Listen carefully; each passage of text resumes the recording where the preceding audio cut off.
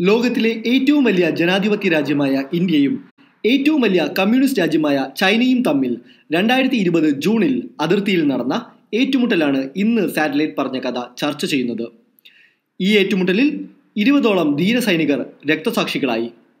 അവരെ പ്രണമിച്ചുകൊണ്ട് ഇന്നത്തെ എപ്പിസോഡ് തുടങ്ങാം.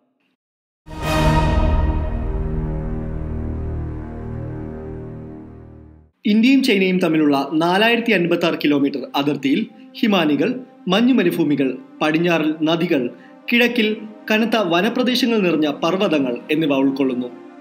ഗാൽവൻ വാലി വരണ്ടതും വാസയോഗ്യമല്ലാത്തതുമായ പ്രദേശമാണ്. അവിടെ ചില സൈനികരെ അതിർത്തി കാക്കുന്നതിന്റെ ഭാഗമായി കുത്തനെയുള്ള വരമ്പുകളിൽ വിന്യസിച്ചിട്ടുണ്ട്.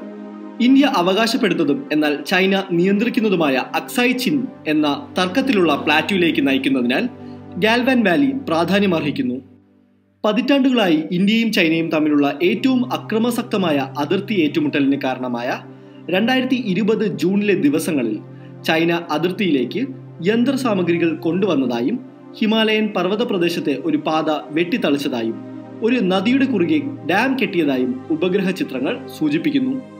ഈ ഏറ്റുമുട്ടലിന് കാരണം എൽ അല്ലെങ്കിൽ ലൈൻ ഓഫ് ആക്ച്വൽ കൺട്രോളിന്റെ ഇന്ത്യൻ വശത്ത് ചൈനീസ് സൈന്യം നുഴഞ്ഞു കയറി രണ്ട് കൂടാരങ്ങളും നിരീക്ഷണ ഗോപുരങ്ങളും സ്ഥാപിച്ചതാണെന്ന് ഇന്ത്യൻ സർക്കാർ വിശദീകരിക്കുന്നു.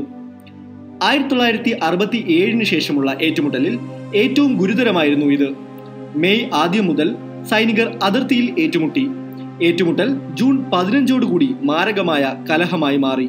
ചൈനീസ് സൈന്യം എൽ എ സിയിൽ നിന്ന് പിൻവാങ്ങി എന്ന പ്രസ്താവന പരിശോധിക്കാനായി ഒരു ഇന്ത്യൻ പെട്രോളിംഗ് സംഘം എൽ എ സിയിൽ എത്തിയപ്പോഴാണ് പ്രശ്നം ഉടലെടുത്തത്.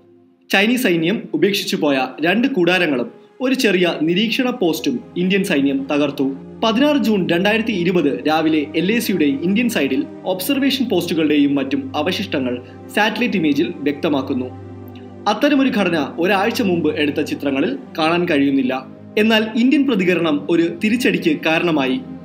ഒരു വലിയ സംഘം ചൈനീസ് സൈനികർ എത്തി ഇന്ത്യൻ സൈന്യത്തെ നേരിട്ടു. ചൈനീസ് സൈനികർ എത്തിയതിനു ശേഷം എന്താണ് സംഭവിച്ചതെന്ന് വ്യക്തമല്ല. പക്ഷേ ഇരുപക്ഷവും ഉടൻ ഏറ്റുമുട്ടി. ചൈനക്കാർ ഇരുമ്പ് വടികളും ബാറ്റണുകളും സ്പൈക്കുകളും ഇന്ത്യൻ സൈന്യത്തിനു നേരെ ഉപയോഗിച്ചു. കൂടുതൽ ഇന്ത്യൻ സൈനികരെ ഇവിടേക്ക് വിന്യസിക്കുകയും ഏറ്റുമുട്ടൽ ഒടുവിൽ തൊള്ളായിരം സൈനികർ പങ്കെടുത്ത മണിക്കൂറുകൾ നീണ്ട കലഹമായി മാറി. മരവിപ്പിക്കുന്ന ഗാൽവൻ താഴ്വരയിൽ സൈനികർ യുദ്ധത്തിൽ ഏർപ്പെട്ടതിന്റെ ഒരു ദിവസത്തിനു ശേഷം പകർത്തിയ ചിത്രങ്ങളിൽ ഒരാഴ്ച മുൻപുള്ള പ്രവർത്തനങ്ങളിൽ നിന്ന് വർധനവ് കാണിക്കുന്നു. എൽ ഐ സിയിൽ നിന്ന് കുറച്ച് അകലെയായി നദിയുടെ തീരത്ത് ട്രക്കുകളുടെ എണ്ണത്തിലും വർധനവ് സാറ്റലൈറ്റ് ഇമേജിൽ കാണാം. എന്നിരുന്നാലും ചിത്രത്തിൽ ജൂൺ ഒൻപതിനു ശേഷം ചില കൂടാരങ്ങൾ നീക്കം ചെയ്തതായി കാണുന്നു. ഇന്ത്യ ചൈനയുടെ സമാധാനപരമായ സ്ഥിതിഗതികളെ ബാധിച്ച ഒരു ശ്രദ്ധേയമായ നീക്കമാണിത്. കൂടാതെ ഇന്ത്യൻ നയനിർമ്മാതാക്കളും അന്തർദേശീയ നയനിർമ്മാതാക്കളും ഈ പ്രതിസന്ധിയെ അഭിസംബോധന ചെയ്യേണ്ടതുണ്ട്. സ്വച്ഛാധിപത്യവും ജനാധിപത്യവും തമ്മിലുള്ള പോരാട്ടമാണിത്. ഇതിൽ ജയം ഇന്ത്യയോടൊപ്പം ആകണമെന്ന് പ്രാർത്ഥിച്ചുകൊണ്ട് അടുത്ത എപ്പിസോഡിൽ കാണുന്നതുവരെ വിട നന്ദി.